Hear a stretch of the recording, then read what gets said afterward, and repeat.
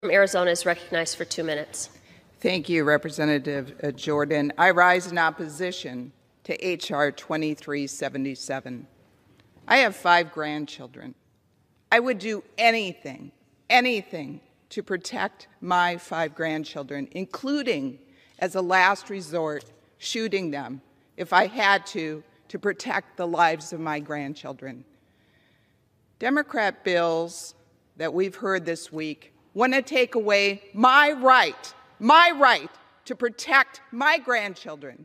They want to take away the rights of law abiding citizens to protect their own children and grandchildren and wives and brothers and sisters. This bill takes away due process from law abiding citizens. Can you imagine if you had a disgruntled ex or somebody who hates you because of your political views and they go to a judge and say, oh, this person is dangerous? And that judge would take away your guns, lean on the side of conservatism, take away the guns without that person even having a, a, knowledge that there was a court hearing that would take away their guns. This is wrong. When Republicans were in the majority, we actually passed legislation that was signed into law that would have prevented mass shootings.